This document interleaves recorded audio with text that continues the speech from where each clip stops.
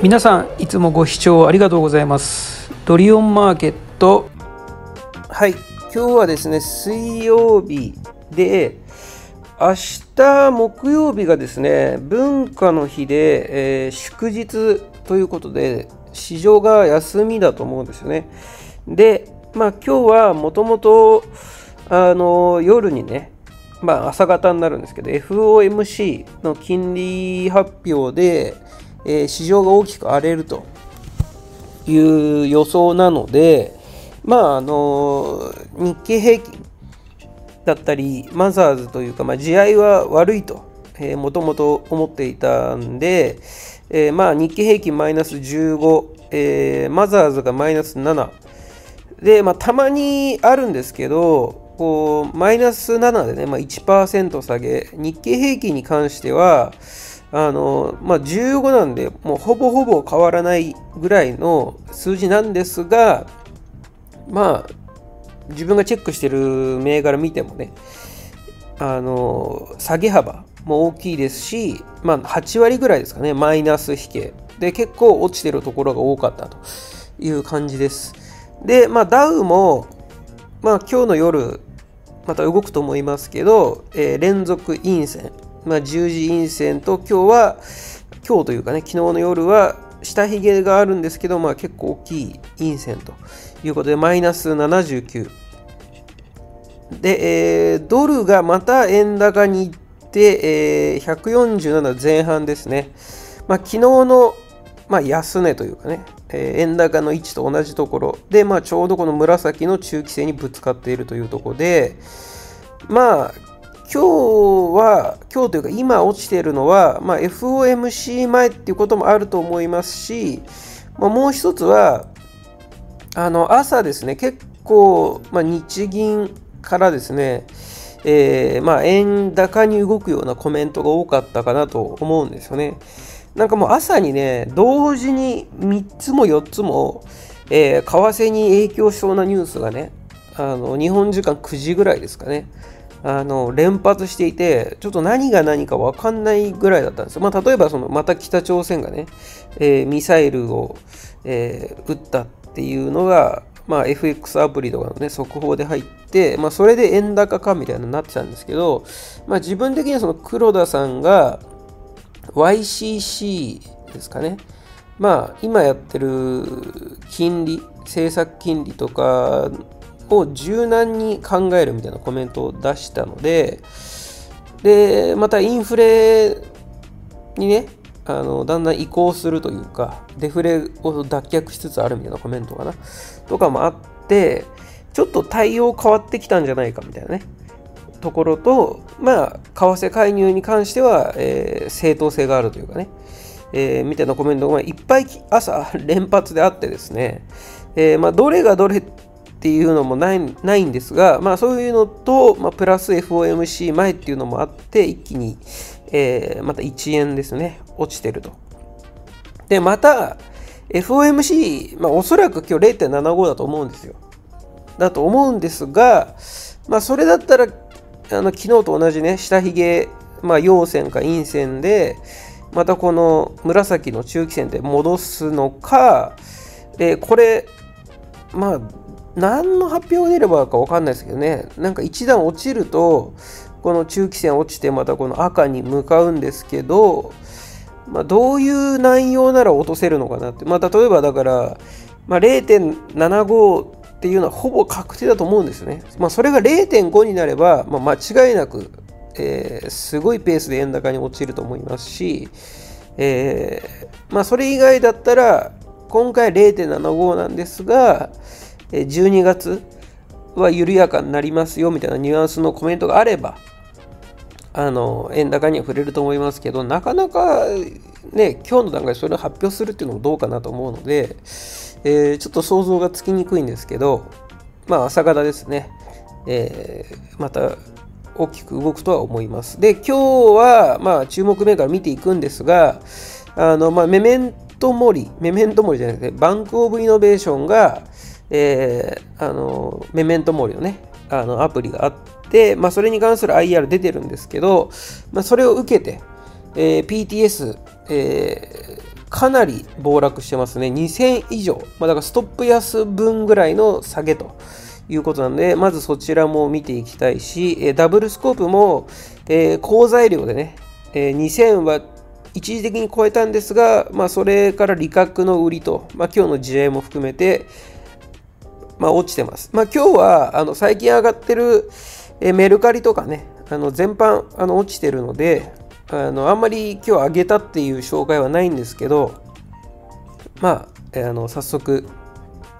チャート見ていきたいと思います。はい、バンク・オブ・イノベーション、えー、ザラバーがまあ1万5340、まあ、マイナス460の、まあ、3%弱の下げなので、まあ、十字の陰線ですし、まあ、そこまで売りシグナルっていうふうには思わないと思うんですよ。まあ、ちょっと十字なんで、陰線なんで、流れ変わるかなっていうのは可能性がありますし、えー、まあ、ここまでね、連続、まあ、十字だったりとかしても、全部陽線だったのに、一応陰線にはなってるという点があるのと、まあ、一つは出来高が異常にですね、もうこれに関しては、後付けとかではなくても、明らかに、えー、3分の1、5分の1に落ちてるということは、あの異変というかね、あの変化としてありました。で、えー、まあ、今から見ていくんですけど、あのこの IR の内容を受けてね、PTS、えー、大きく落ちているので見ていきたいと思います。で、PTS、もう3070ですね、の下げということで、えー、1万2270ということで、20%下げとなってます。で、えー、ストップ安、PTS のストップ安が1万、えー、1340なんで、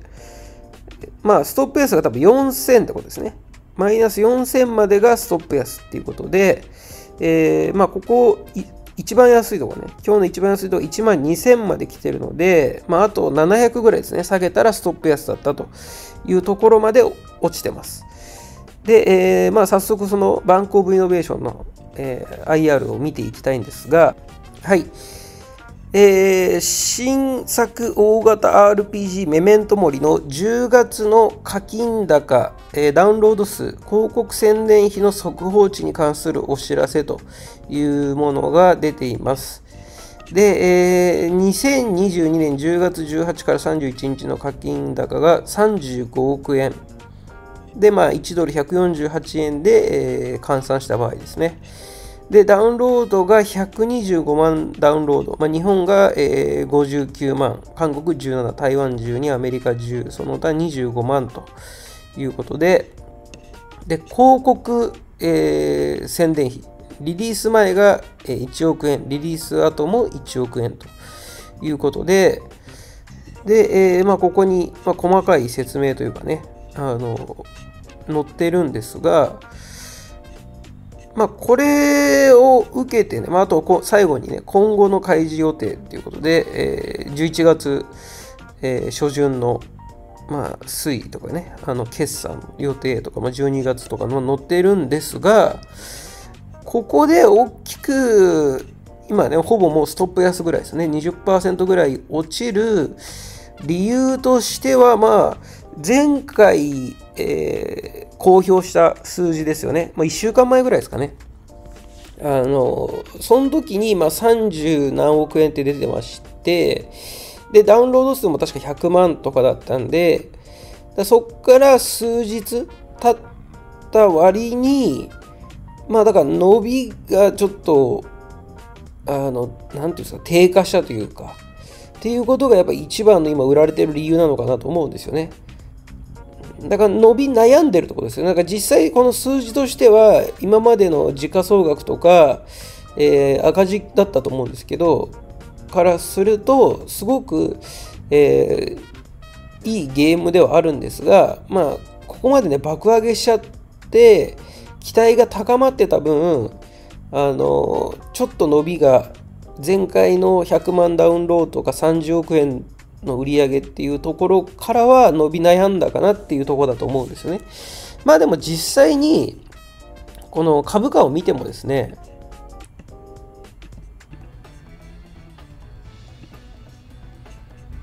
はいまあ、実際株価を見ても、これ PTS のまあちょっと落ちてますけど、まあ、確かにこの3000からね、8000ぐらいのところで落ちてたら、えー、ちょっと厳しすぎるかなと、激しいかなと思うんですけど、まあ、確かにこう3000がですね、まあ、1万6000超えのね、まあ、5倍の値動きをしていたので、まあ確かにちょっと伸び悩んだりとかね、爆発的な勢いがないと、この5倍っていうね、とてつもないペースで上がってきたんで、まあ確かにこう、一回売られるかなっていうことは、まあ納得ができます。まあただですね、あの、勢いがすごいのと、まあもともと、ね、ここ3000でこう停滞したところにいきなり来た、えー、好材料だったので、まあ、明日は例えばじゃあずっと安いまま、もしくは5番に買い戻されて、下髭、長い下髭になる可能性もあるし、えー、まあ、2日3日落ちてね、そこで固めて大幅反発って可能性もあるので、まあ難しいですね。まあちょっと高値で入ってしまった人からすると結構苦しいですよね。だからプラマイゼロに近いところで抜けれるかっていう、えー、状態になるかなと思いますね。こう1万、えー、まあ、2000とかね、1万5、6000の間で入った人は、ちょっと手放すのタイミングをね、損切りにするか、もうちょっと待って、えー、かなりゼロに近い状態で売るかっていう状況だと思います。で、まあ3000とかね、こう、初期で入ってた人は、もうちょっと一旦利確しようかなとか、まあいろいろ選択肢があると思いますし、まあ自分としてはかなりこう上がりきって後出しで、えー、売りで入りたいと思っていて、まだ入ってないんですけど、まあ、正直このチャートでね、空売りで入れるっていうのはちょっとなかなか難しくて、もうちょっと上がるところで、だから2万とか3万ぐらいまで行って、上髭の陰線出たり、何回もダブルトップ、トリプルトップみたいな感じで、落とされてる壁が出たら入ろうかなと思ってたんで、正直この十字の陰線だけではなかなか入りづらいかなと思います。はい。で、これちょっと10月26なんですけど、記事では、えー、まあ、大幅に上げてる途中ですね。で、えー、23日まで6日間で18億円に到達というニュースが出てますね。だから23までの6日間で、ここからプラス、まあ1週間以上ありましたよね。で、えー、まあ、30さっき5億円とかでしたんで、まあ、ちょっと落ちたかなっていうところですかね。課金高ですね。っていうところがあるかなと。で、ちょっとバンクオブイノベーションだけになってしまうので、えー、違う銘柄も見ていきたいんですが、はい。で、リミックス、えー、マイナス24%下げと。で、PTS も、えーまあ、1.7%ですね、落ちて、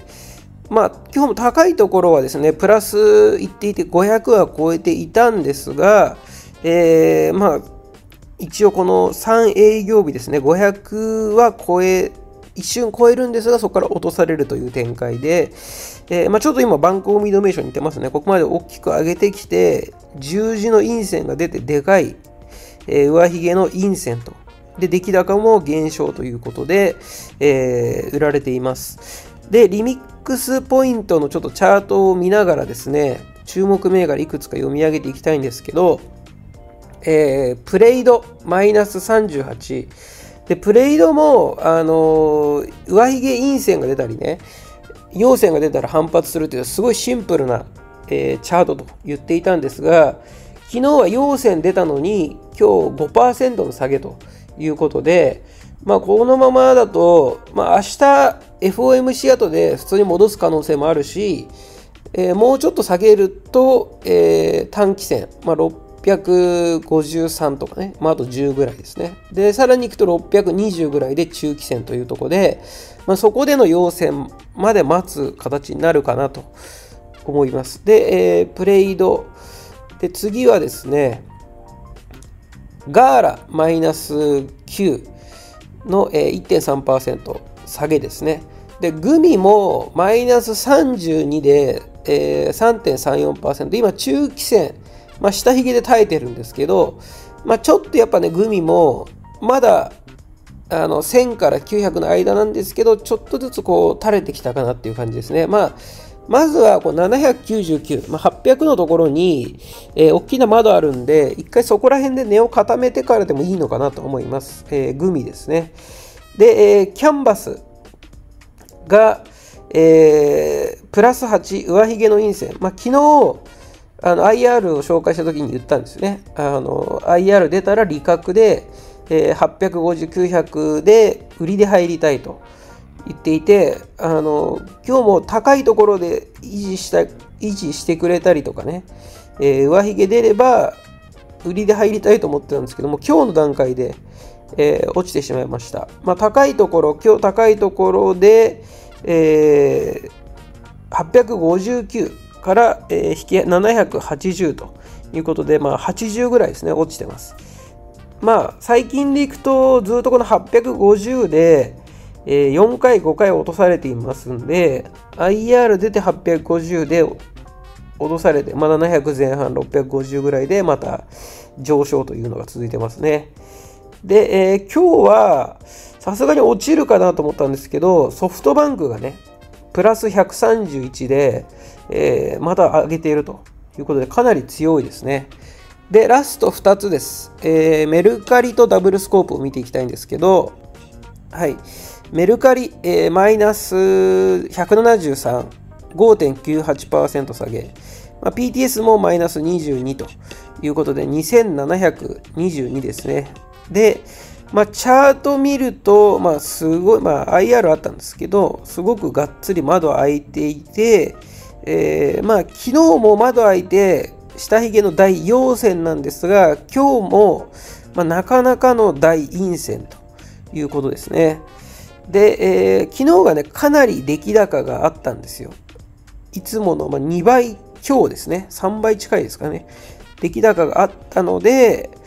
えー、少し、あの、入れ替わった可能性があるなと、株主というかね。なので、もしかしたら、まあ明日以降、流れ変わるかなっていうのはあるんですけど、まあ、これもですね、あの、明日の休み前、プラス FOMC 前なので、えー、あさってですかね、あの、この陰線ですね、まあ、前回高値、直近高値を上抜けていくようならまだ勢いがありますし、これ窓を閉めに行く展開だとちょっとズルズルしてしまうかなっていうところですね、メルカリ。で、えー、ダブルスコープを見る前に、アジア開発なんですけど、またですね、3.8、3.9まで落ちて、え板も3円、4円の板に落ちてきたということで、アジア開発、ちょっと前までね、出来高があの PTS で2億とかあったんですけど、やっぱり弱いなというところです。で、えー、最後ですね、ダブルスコープですね。はい。で、ダブルスコープ、えー、マイナス101、5%下げですね。えー、1794。で、PTS が7.9の下げ。で、まあ、ダブルスコープは、まあ、動画のね、最初に言いましたけど、この2000を超えたところで、まあ、平均線がちょうど頭にぶつかるというのもありますけど、まあ、それよりは、あのー、ちょうど、えー、好材料ね、まあ、決算の伸びっていうニュースで、まあ、利確売りということで、まあ、短期で見ると、まあ、3000、ちょっと大げさに言うとですね、3000から1000、1000から2000と、だ3分の1落ちて、えー、2倍戻しというところなんで、まあ、ここから、まあ、2000から例えば1500、まあ、1000前半まで戻せば、このレンジの中で、まあ、うまく取れればなと思うんですが、まあ、韓国の、え、子会社のニュースというかね、とか見てると株価はなんか順調に伸びてるようなんですが、えー、まあダブルスコープも短期でこう1100から2000までいってますんで、まあ、ここら辺でね、うまく入れた人は、ま1.5倍、2倍近くね、取れて、まあ、その利確が出てるっていうのも間違いではないかなと思います。で、えー、まあ、今回もちょっとあの時間が長くなってしまったんで、ここまでにしたいと思います。で、明日、えー、まあ、今日のね、FOMC とか、えー、ダウとかを見て、また明日動画上げたいと思います。あの、市場はね、株式市場休みなんですけど、えー、まだ木曜日なんで、まあ、金曜日に向けての銘柄とかですね、えー、まあ、FOMC 明けで先物がどうなってるかとかね、えー、為替がどう動いたかとかを、えー、明日また見ていこうと思います。えー、今回は以上になります。で、よかったらあの下の概要欄にですね、自分がやってる Twitter のリンク貼ってあるんで、えー、よかったら Twitter フォローしていただいて、で、え、こちらのチャンネルですね、もうよかったらチャンネル登録して、え、別の動画も、え、チェックしていってください。ありがとうございました。